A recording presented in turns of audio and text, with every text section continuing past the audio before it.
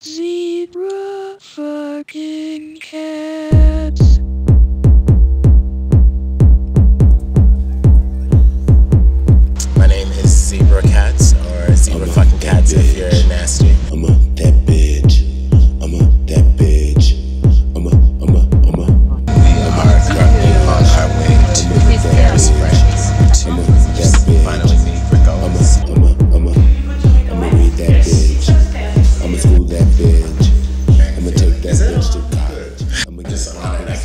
can't believe I'm sitting here. Well, how was Paris today? Paris How is was- great. How was that?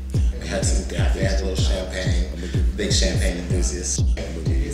Oh, I've had some. That was actually the greatest thing ever. As soon as I walk into your studio, someone offers me a glass of champagne. Yeah, yeah, it's like that. the architecture, everything is so beautiful here. There's gilded gold statues. It's just so lush and luxurious. I love it. And it's it's it's good theatrical. We like theater? Love it. Give me drama. You know, my first, I remember watching Paris is Burning and being like, wow, this is awesome. I didn't know about that. How old were you? Like ten? No. What you're doing is taking that culture, taking that history, and revitalized it in a smart way, not like you know a girls allowed way. Or, I mean, to me, it's like the classic Cinderella story. You know, every girl wants to dress up. She wants that moment to leave her three wicked bitch sisters behind and get her moment to shine. and what's great about it is that I accept no restrictions. I'm going to have my Cinderella moment. Yes. And there's something very steely about mm-hmm. that. Beautiful, beautiful, beautiful. Are you comfortable with just that? Because that works with what I'm wearing. Yeah. Other language do you speak? Cunt.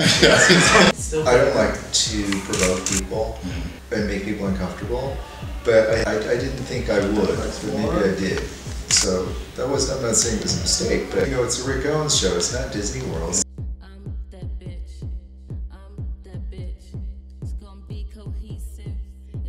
My thesis. I'ma read that bitch. I'm that bitch.